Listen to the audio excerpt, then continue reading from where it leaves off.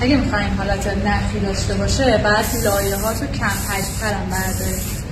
وقتی پر حجم باشه نمی‌تونی هر کارش کنی فقط یه شیار میفته حالت نخی نمیفته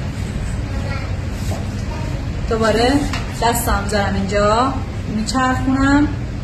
خب نگهش میدارم دستم میارم بیرون.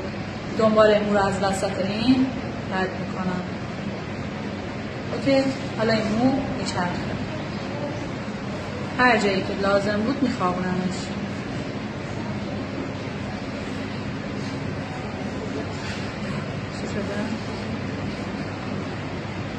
حالا من نگاه کنم هر جایی که دیدم لازمه بخوابه همونجا میخوابونمش رو فرمش میدم. این کشش خیلی تکنیک گرم رو خوشگل تر می‌کنه. قشنگ میخوابونم و مثل یک گردی با هم دیگه هماهنگش می‌کنم. درسته؟ گفتم فرم نهایی بعد گردی منحنی قشنگی داشته باشیم.